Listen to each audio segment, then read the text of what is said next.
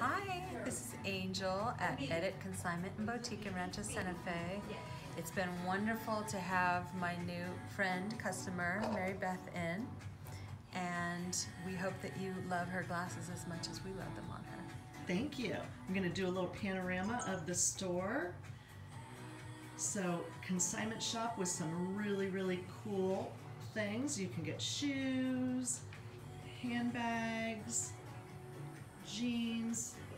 formal wear. There's even hats, some Chanel, some Louis Vuitton. So bring in your merchandise and also buy your buy merchandise. Walk over here.